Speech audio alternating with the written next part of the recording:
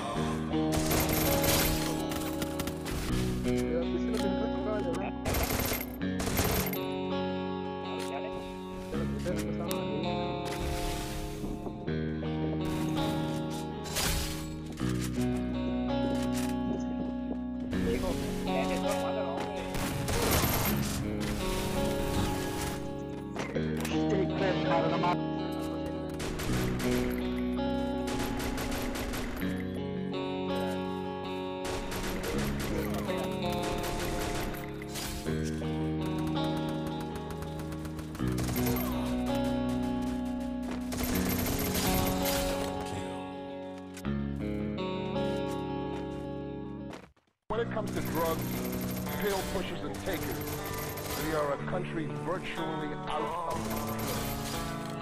If you're feeling depressed, to get relief, take a pill.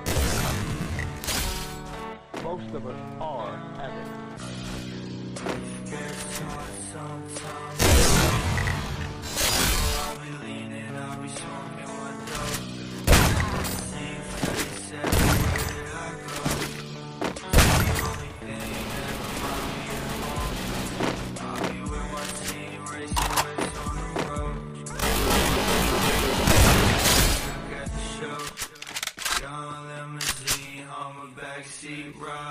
She only call my phone when she think that I'm